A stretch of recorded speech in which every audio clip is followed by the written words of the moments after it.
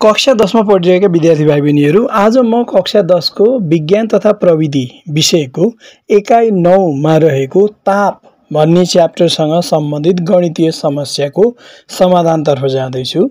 अगाडि पनि अघिल्लो क्लासमा पनि हामीले केही गणितीय समस्या समाधान गऱ्यौँ आज पनि जमेर केही गणितीय समस्याहरू समाधान गरौँ भन्ने विचार छ किनभने विद्यार्थीहरूलाई यो गणितीय समस्या विषय अलिक गाह्रो लाग्छ।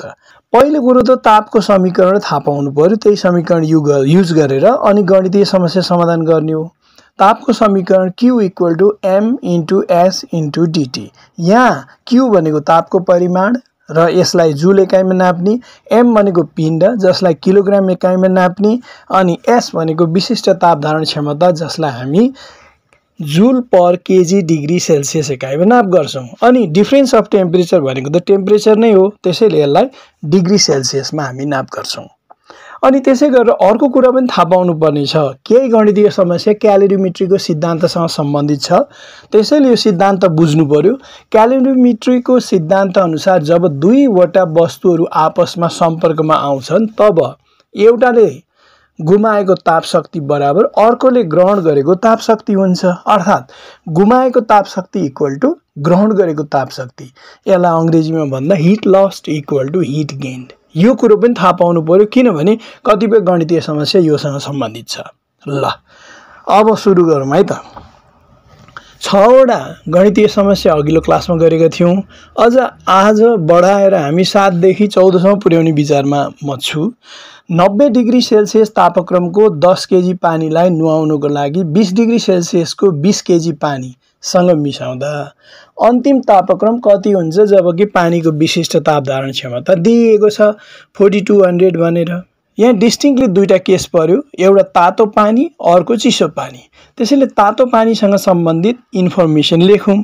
के भन्दा पिण्ड यहाँ दिएकै छ दस केजी तातो पानीको। सुरुको तापक्रम चाहिँ नब्बे डिग्री सेल्सियस टी वान हामीले यसको सङ्केत राख्छौँ नाइन्टी डिग्री सेल्सियस। अन्तिम तापक्रम चाहिँ मानौँ टी। यहाँनिर पिण्ड चाहिँ नि तातो पानीको एम वान राख्छौँ चिसो पानीको चाहिँ नि एम टू राख्छौँ। त्यस्तै सुरुवातको तापक्रम टी वान राख्छौँ भनेदेखि अन्तिम तापक्रम हामी टी टूको सट्टा यहाँ दुईतिर सुरुवातको तापक्रम भएको हुनाले टी वान टी टू राखेर अन्तिम तापक्रम चाहिँ टी मानेका छौँ यहाँ। अब हामीले गुमाएको ताप शक्ति निकाल्नु पऱ्यो भने M one into S into DT one मैले तातो वस्तुको चाहिँ M one S one DT one राख्नु भनेको थिएँ तर यहाँ एस वान किन नराखेको भन्नाले दुइटै पानी भएपछि एउटालाई एस वान अर्कोलाई एस टू भन्नु आवश्यकै भएन। अनि भ्यालु राख्दा एम वान भनेको दस केजी अनि एस जस्ताको तस्तै किन जस्ता जस्तै राखेको यो भ्यालु नराखेको भने पछि यो एसएस हामी काट्दैछौँ यहाँ दिएको भए पनि आवश्यकै छैन राख्नुको लागि। अब यहाँ तापक्रममा फरक। डिटी वान भनेको चाहिँ कति त भन्दा सुरुको टी वान अन्तिमको टी कुन चाहिँ धेरै भन्दा सुरुको धेर। सुरुकोबाट अन्तिमको घटाउनु पऱ्यो किनभने यसले ताप गुमाउँदैछ। तातो पानीले ताप गुमाउँछ चिसोले प्राप्त गर्दछ। त्यसैले टी वान माइनस टी लेखेको हो। इक्वल टु अब दसको दस एसको एस अनि टी वानको भ्यालु नाइन्टी माइनस टी अब अर्कोतिर चिसो पानीमा पनि त्यसै गरेर हेर्दा पिण्ड माथि एम वान मानेको थियो एम टू बिस केजी छ। अब सुरुको तापक्रम कति? बिस डिग्री सेल्सियस। अन्तिम तापक्रम त दुइटैको बराबर हुने हो टी मान्यो। अनि ग्रहण गरेको ताप शक्ति बराबर M two into S into DT two होइन? एम टू ट्वेन्टी एस जस्ता तस्तै अनि डिटी टू भनेको चाहिँ यसको चिसो पानीको अन्तिम तापक्रम बढी हुन्छ। सुरुको तापक्रम बिस कम छ। त्यसैले अन्तिमबाट ब सुरुको घटाउँदाखेरि difference of temperature T minus twenty हुने हो होइन?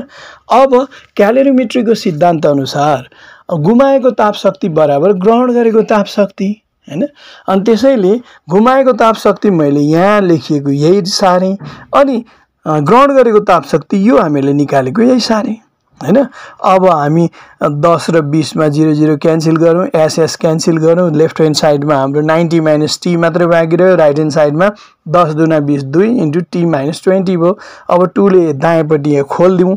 खोलिदिँदाखेरि टु टी माइनस फोर्टी हुने भयो अनि टिटी एकातिर राखौँ अनि अङ्क अङ्क अर्कोतिर राखौँ गर्दा टीको भ्यालु कति आयो त भन्दा एक सय तिसका भने तिन डिभाइड गर्दा forty three point three three degree Celsius.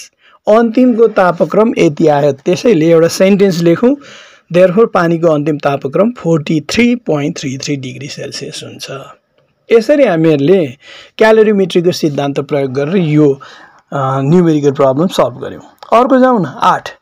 दुई सय चौतिस joule per KG degree Celsius विशिष्ट तापधारण क्षमता भएको पाँच केजी चाँदीको तापक्रम पन्ध्र डिग्री सेल्सियसले बढाउन है। यहाँनिर सुरुको कति अन्तिमको कति छैन। डिटी डिफ्रेन्स अफ टेम्परेचर पन्ध्र डिग्री सेल्सियस बढाउन कति तापशक्ति दिनुपर्छ? पहिले त्यो तापशक्ति निकाल्ने। त्यति नै तापशक्ति चार सय सैँतालिस joule per KG degree Celsius विशिष्ट ताप क्षमता भएको पाँच केजी नै। तर इस्पातलाई ताप दियो भने यसको तापक्रम कति बढ्छ भनियो। भनेपछि दुईवटा केस आयो नि। पहिलो केस पहिले सल्भ गरौँ त। चाँदी। चाँदीको केसमा तापक्रमको परिवर्तन पन्ध्र डिग्री सेल्सियस। यहाँ डिटी एकसाथ आयो। Fifteen degree Celsius T one र टी टू। होइन? चाँदीको पिण्ड यहाँ दिएकै छ पाँच केजी। पाँच केजी आयो। अनि विशिष्ट ताप धारण क्षमता दिएको छ दुई सय चौतिस। अनि तापशक्ति कति? ताप शक्तिलाई हामीले क्यु लेखे पनि यहाँ एच लेखे पनि केही फरक पर्दैन।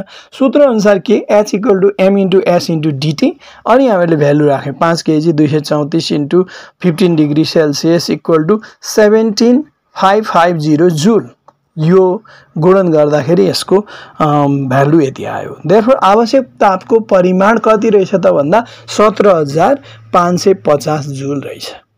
अब यति नै ताप शक्ति। दोस्रो केसमा युज भयो नि इस्पातमा। ताप शक्ति कति? क्यु यहाँ मैले एच लेखेँ पनि क्यु लेखेँ पनि उयो भने नि। सत्र हजार पाँच सय पचास अनि इस्पातको पिण्ड पाँच केजी अनि यसको विशिष्ट ताप धारण क्षमता चार सय सैँतालिस होइन? तापक्रमको परिवर्तन डिटी चाहिँ कति? भनियो होइन? त्यति नै ताप दिँदाखेरि यहाँ तापक्रमको परिवर्तन पहिलो केसमा पन्ध्र डिग्री सेल्सियस छ। अब इस्पातमा कति रहेछ हेरौँ त। सूत्रअनुसार Q equal to M into S into DT अब सबै भ्यालु राख्दा क्युको भ्यालु एमको भ्यालु एसको भ्यालु डिटी चाहिँ निकाल्नु पऱ्यो भने डिटी निकाल्दा कति आयो त भन्दा डिटी बराबर seven point eight five degree Celsius मात्रै पायो त। त्यति नै तापले चाँदीको चाहिँ कत्रो पन्ध्र डिग्री सेल्सियस तापक्रम बढ्ने होइन? अनि यसको चाहिँ सेभेन पोइन्ट एट फाइभ झन्डै आधी मात्रै बढ्ने। लगभग किन भनेको भने पोइन्ट पछाडि दुईवटा अङ्क मात्रै लिइयो तेस्रो चौथो अङ्क हामीले हटाएका छौँ। त्यसैले अब अन्तिममा एउटा सेन्टेन्स लेखौँ। तापक्रमको परिवर्तन seven point eight five degree Celsius हुन्छ। होइन? ल यो आठ नम्बर पनि सिद्ध्यायौँ आज हामी हिसाबका हिसाब गर्दैछौँ है। नौ नम्बर। वान पोइन्ट फाइभ केजीको फलामलाई तिस डिग्री सेल्सियसबाट एक सय दस डिग्री सेल्सियस तापक्रम पुर्याउन कति तापशक्ति दिनुपर्छ? विशिष्ट ताप धारण क्षमता दिएको छ यो त सजिलो छ होइन? पिण्ड दिएको लेखेँ होइन? One point five KG. सुरुको तापक्रम थर्टी डिग्री सेल्सियस अन्तिम तापक्रम टी टू एक सय दस डिग्री सेल्सियस। विशिष्ट ताप धारण क्षमता चार सय चालिस। ताप शक्ति कति भन्दा सूत्रअनुसार क्यु इक्वल टु एमएसडिटी सबैको भ्यालु राखेँ युनिट राखे पनि भयो नराखे पनि भयो प्रोसेसमा चाहिँ। वान पोइन्ट फाइभ चार सय चालिस अनि यता एक सय दस डिग्री सेल्सियस माइनस तिस डिग्री सेल्सियस। किनभने अन्तिमको तापक्रम एक सय दस हो। अब यसलाई सल्भ गर्दा कति आउँछ भन्दा बाहन्न हजार पाँच सय। होइन बाहन्न हजार पाँच सय जुल। एक सेन्टेन्स लेखिदिउँ देयरफोर आवश्यक तापको परिमाण बाहन्न हजार पाँच सय जुल हुन्छ। यसो सजिलो पनि त हुन रहे हुने रहेछ नि होइन? अघिल्लो हिसाबमा दुईवटा हिसाब जोडिएको थियो त एउटै मात्रै हिसाब जोडिएको सजिलो पनि छ। मैले सजिलो अप्ठ्यारोलाई क्रम मिलाएर गरेकै छैन जुन जता राखे पनि विद्यार्थीले जान्नु पऱ्यो एउटा एक किलोवाटको हिटरले दुई केजी पानीलाई एटी फोर किलो जुल ताप शक्ति दिएर तताउँदा कति तापक्रम बढ्छ भन्छ अरे यहाँ झुक्क्याउनुको लागि किलोवाट पनि दिएको छ त्यसको युजै छैन। पानीको पिण्ड एम बराबर दुई केजी अनि ताप शक्ति क्यु बराबर एटी फोर किलो जुल यहाँनिर आएर किलो छ है। किलो भनेको जुलभन्दा हजार गुणा बढी। त्यस कारण एटी फोर किलो जुल भनेको एटी फोर थाउजन्ड जुल हो नि। थाउजन्डले गुणन गरेर देखाए पनि सिधै लेखे पनि। पानीको विशिष्ट ताप धारण क्षमता एस बराबर दिएको छैन नि। हामी आफै लेख्न सक्छौँ यसमा। यो चाहिँ कण्ठ हुनु पऱ्यो forty two hundred joule per KG degree Celsius. अब तापक्रमको परिवर्तन डिटी कति भनेर सोधिएछ नि। अब यो पनि सजिलो छ। सूत्रअनुसार Q equal to M into S into DT Q दिएको लेख्यो एम दिएको लेख्यो एस दिएको लेख्यो डिटी निकाल्ने हो। अङ्क अङ्क अब एकातिर लगेर डिटी निकाल्दा टेन डिग्री सेल्सियस। अनि हामीले एक सेन्टेन्स लेखेको राम्रो। देयरफोर पानीको तापक्रम दस डिग्री सेल्सियसले बढ्छ होइन? अब अर्को गरौँ। एक हजार वाट सामर्थ्य भएको एउटा हिटरले एक घन्टामा four point two into ten power three kilo joule ताप शक्ति दिन्छ किलो जुल भन्ने साथ जुलभन्दा हजार गुणा बढी हो नि। यसलाई जुलमा ल्याउनु पर्छ नि। जसलाई चाहिँ नि ल्याउँदाखेरि हजारले गुणन गर्नुपर्छ। यो ताप शक्तिले तिस डिग्री सेल्सियस तापक्रमको बिस केजी पानीको तापक्रम कति वृद्धि गर्छ? पानीको विशिष्ट ताप धारण क्षमता दिएको रहेछ। नदिए पनि हामीलाई थाहा थियो। अब दिएको चिज लेखौँ। ताप शक्ति कति? Four point two into ten power three kilo joule अब यसलाई एक हजारले गुणन गर्नुपर्छ नि किनभने जुलमा लानुपर्ने छ। त्यस कारण ten to the power three भनेको एक हजार हो। त्यसले गुणन गर्दाखेरि टेन टु द पावर जम्मा सिक्स भयो होइन?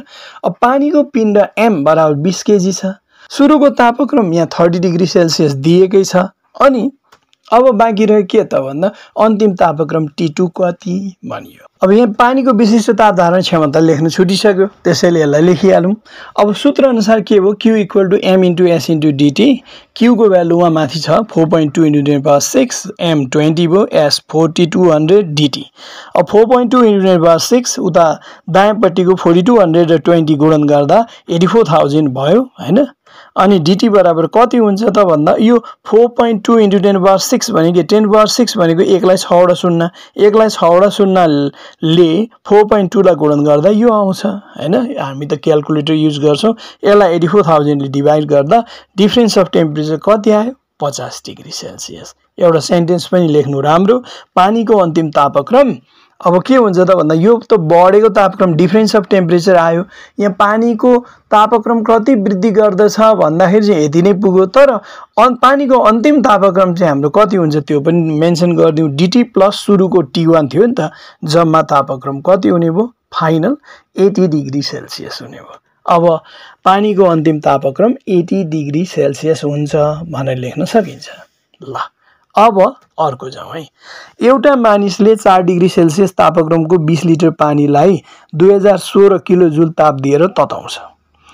यसको तापक्रम कति बढ्छ? विशिष्ट ताप धारण क्षमता दिएकै छ पानीकै बढी छ है। हाम्रो प्रायः जसो पानीको केसमा हामी धेरै हिसाब गर्छौँ।